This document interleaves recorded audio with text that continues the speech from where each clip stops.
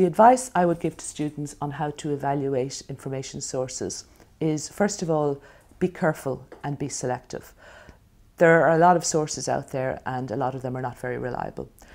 If you're a science student, which is my area, I would say go to Web of Science. So you go to your library database and you start off with Web of Science and you uh, put in your topic and off you go.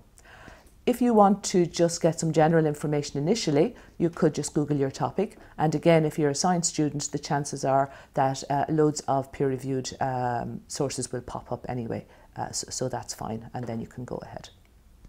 The criteria that I would recommend that students apply when evaluating sources are, first of all, I think be very careful that you know exactly what your topic is. So there you would speak to your lecturer about the scope of your topic, um, how narrow it is, how broad it is, because obviously you don't want to go too broad, you don't want to go too narrow. Firstly, I would make sure that you have gone to the library tutorials, preferably in first year.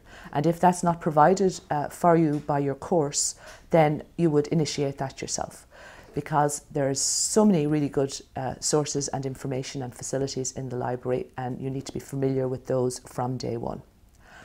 Then I would speak to my lecture and make sure that I have a very clear idea of what my topic is. You don't want to go too broad, you don't want to go too narrow.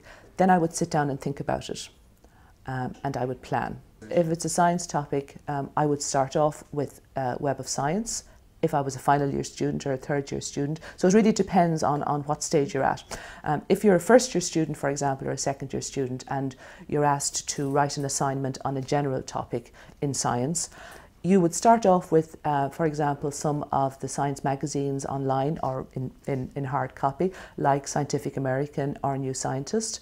And that would give you an idea, from their references, that would give you an idea of who the experts are, maybe a Nobel Prize winner or whatever. Um, and then you would go to the library database, uh, preferably Web of Science, and maybe start off with a review article because review articles are usually very general and, and a lot of them are written for the non-expert. So you would probably, for a first year, second year topic, you would probably get enough information there. If you wanted something a little bit more detailed, then you could go to Web of Science. And again, you have to make sure that you know how to do that and you know how to search properly.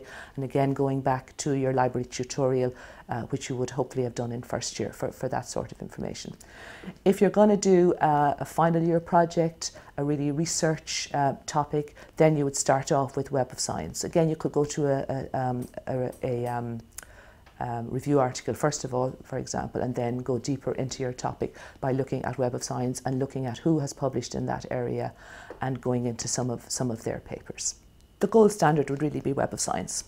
Okay, so peer-reviewed is much much better. There are general articles out there, and maybe you could you could use one one or two of those, um, but you would want to be um, quoting from peer-reviewed articles or books. But but mostly these days we would we would use peer-reviewed articles in say physics. I think the DCU library is one of the best ones around, so all students should be aware of, of the facilities. They should contact their subject librarian right at the very beginning even if you've done a, a, general uh, library tutorial, you should um, know who your subject librarian is for future reference because you need to know exactly what's there. The library's been updated all the time, so um, on a year by year basis. So you just need to be aware of what's available and know how to use the sources properly.